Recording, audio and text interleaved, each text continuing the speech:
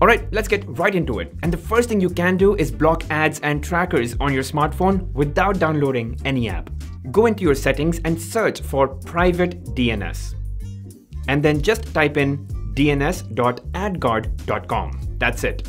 Your ads will now not load, or at least the annoying ad images won't show up.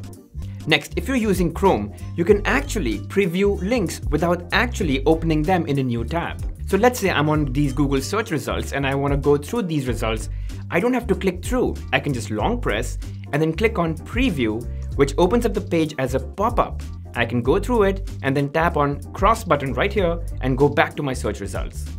By the way, if you have like a ton of tabs open in Chrome, you could just swipe on the address bar and shuffle through your open tabs just like that.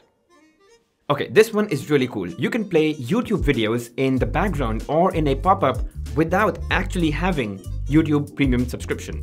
All you need to do is install VLC Player from the Play Store and that's it.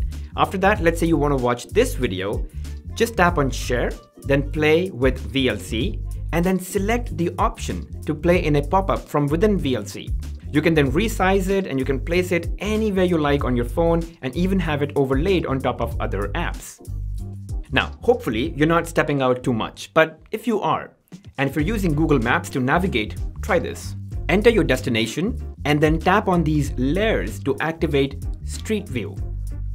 Then tap on these colored lines and you can now navigate with an actual real view of the streets, just making it a lot easier to make sense of where you need to take your next step or your next turn. And as you turn around in the streets, the pointer also points in the right direction and that is so critical to knowing which direction you need to head in. And guys, if you're finding all of this useful, support the channel. All you have to do is like the video, subscribe to the channel, and hit that bell notification icon and just mark all. Also, if you happen to know friends that you think can benefit from this video, send it to them.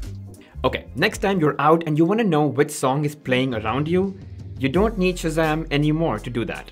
Just say, OK Google, and then which song is playing.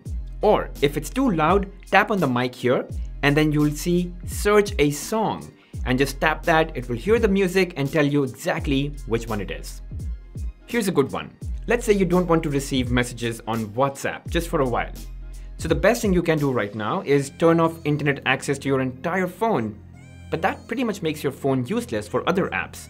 So you can temporarily shut off internet access to WhatsApp.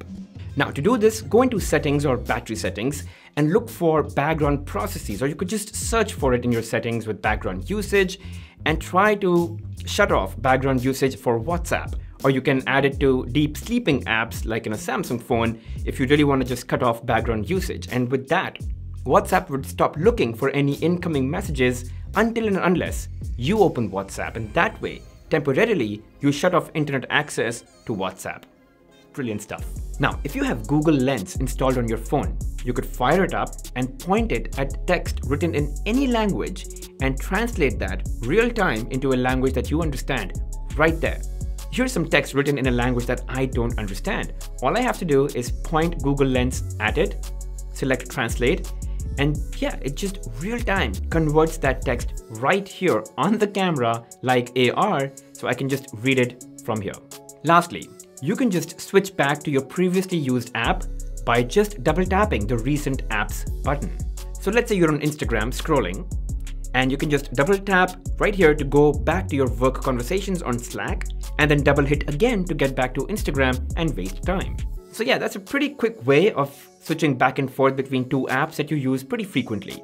Alright, that pretty much wraps up this video. Now I've done two more videos that I think you could really benefit from if you've got an Android phone, so make sure you check those out. And otherwise, make sure you hit that subscribe button and support the channel. Don't forget to hit the bell notification icon and mark all. That's the only way you'll get to know when I upload a video. Alright, I'll see you guys in the next one.